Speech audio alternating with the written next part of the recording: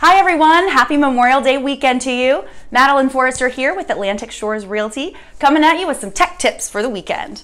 Um, technology is ever changing, and as a realtor, uh, a great example of that would be, you know, back in the day, we used to have to go to each of the brokerages, get a key for every condo we wanted to show. Now we just push a button on our phones, boom, the lockbox opens.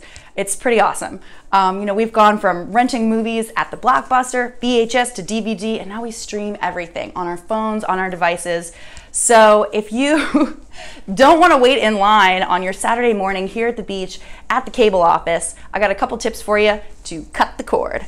Check it out below. Have a great weekend. Bye.